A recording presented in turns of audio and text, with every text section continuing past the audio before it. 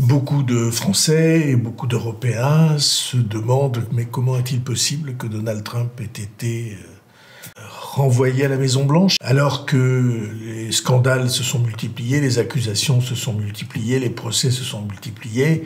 Euh, tout le monde a en mémoire ce qui s'est passé au Capitole. Il y a là une réponse euh, qui nous intéresse tous, nous les Français, nous les Européens et nous les Américains, parce que je crois que ce phénomène existe partout dans les pays occidentaux. Ce phénomène, c'est la rupture profonde, profondissime entre la base,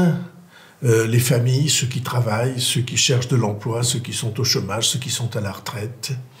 ceux qui ont la vie de tous les jours, si je puis dire, et euh, les autres, c'est-à-dire le sommet, les puissants, les célèbres, les, ceux qui ont de l'argent. Et je dis souvent, la frontière, c'est euh, l'écran de télévision, ceux qui sont d'un côté l'écran de télévision et les autres. Et euh, le génie de Trump, si je puis employer un mot positif,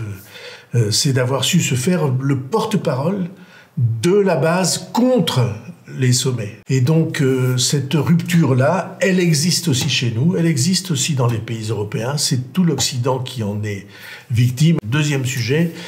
euh, qui nous concerne aussi, c'est que toutes ces aventures, ces guerres, ces conflits dans lesquels euh, les États-Unis sont plus ou moins engagés, euh, l'Ukraine, le Moyen-Orient, les Américains ne se sentent pas engagés, ils n'en veulent plus. Tout ceci nous place devant une question, nous les Européens, sachant que les États-Unis ne seront plus notre protection,